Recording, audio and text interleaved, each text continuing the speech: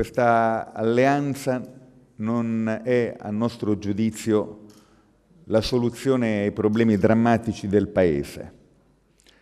Se sarà governissimo, per noi sarà il tempo dell'opposizione, ma la nostra disponibilità a giudicare senza pregiudizi ogni singolo provvedimento di quel governo è in campo perché non ci sfugge la drammaticità della condizione del Paese. E allora vorrei dire che a qualunque governo andremo incontro spetterà il compito nelle prime settimane di attività di rispondere positivamente alle questioni che oggi sono sul tavolo.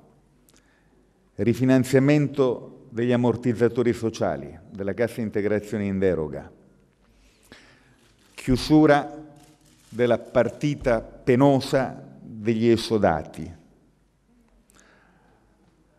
abbattimento dei vincoli sul patto di stabilità, che sono il cappio al collo delle pubbliche amministrazioni e il cappio al collo della nostra economia. La riapertura di un negoziato su Bruxelles, con Bruxelles che ci consenta di fuoriuscire dalla palude delle politiche dell'austerity in cui stanno sprofondando le società europee.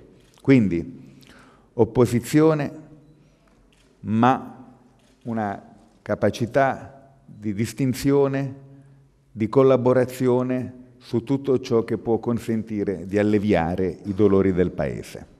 Grazie.